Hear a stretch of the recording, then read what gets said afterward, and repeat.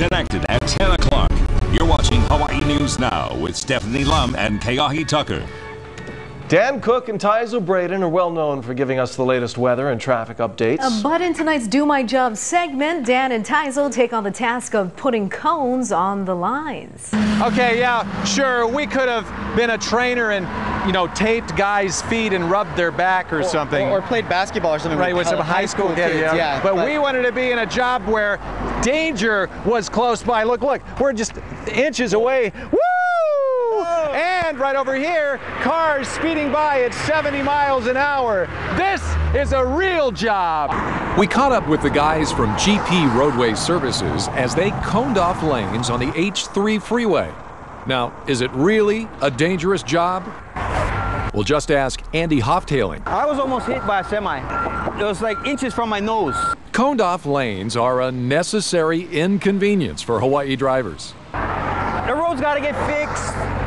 Trees got to get cut. And the guys realize that dealing with lane closures can be frustrating for you. They understand. But they're also hoping you can show them some aloha. Yeah, just a little. A little. That's all we ask. GP Roadway Solutions is a pretty big outfit, about 60 employees, and they work all across the island. We do work for the state, we do work for the city, we do work for contractors. But today, the team wanted a break. Sanitizer, do my job! Okay, bring it in. You're ready. First, we helped out by putting up a sign. My bad, my bad, my bad. Then it was time for cone class. 300 cones. 300 cones. Yeah. This is about three miles. Hey, woo!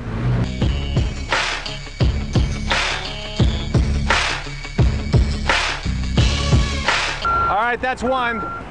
300 to go.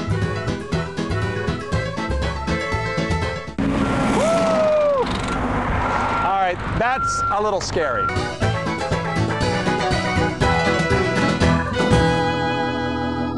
Dan, how are your arms feeling? I have no feeling in my arms at all at this point. Cone putting, cone collecting.